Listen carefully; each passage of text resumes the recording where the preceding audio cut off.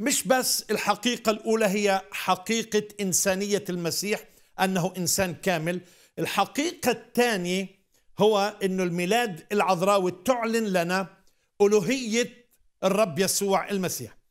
إذا رفضنا الميلاد العذراوي هو رفض بكل صراحة وإنكار ألوهية المسيح وقدرته على أن يخلصنا. خلي بالك إنه الخلاص هو عمل إلهي كامل لا دخل للإنسان فيه. حاول إنسان ولكن عجز وفشل.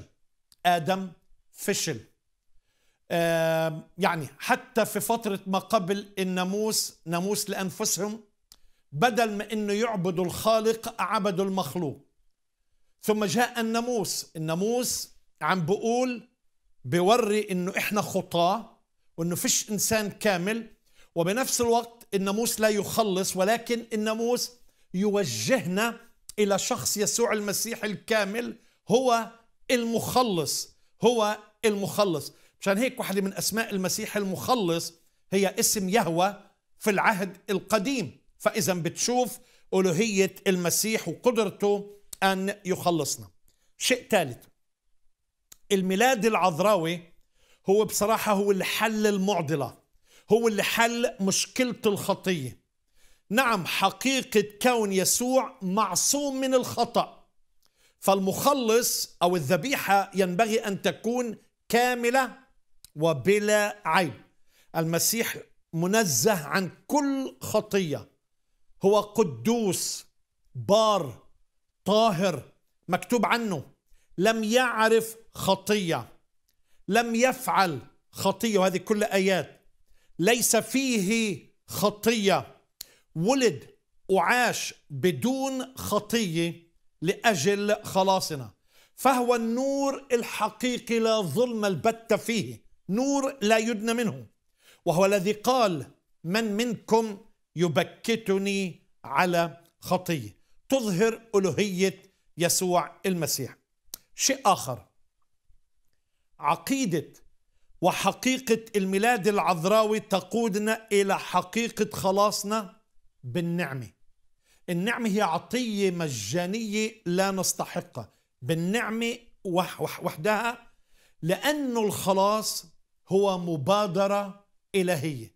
الله اللي بادر في موضوع الخلاص. الآب هو صاحب القرار. زي ما قلت ان الإنسان ما عندوش أي دخل في موضوع الخلاص.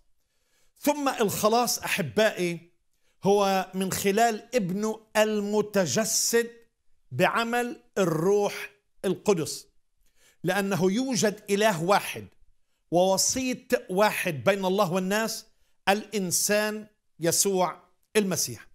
حتى أن العذراء مريم هي أقرت بنفسها أنها أداة مختارة في عمل الله الفدائي. تعرفوا مكتوب فقالت مريم هوذا أنا آمة الرب ليكن لي كقولك.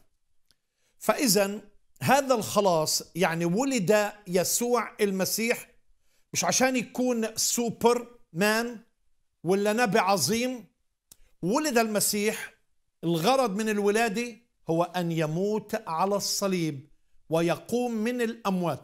لو لم يقم المسيح من الأموات فكل إيمان المسيحية باطلة لأن كل المسيحية تتمحور حول عقيدة القيامة. المسيح مات على الصليب ولكنه قام وهو حي إلى أبد الآبدين وهو الشفيع وهو يتواصل ويتفاعل معنا من خلال الروح القدس.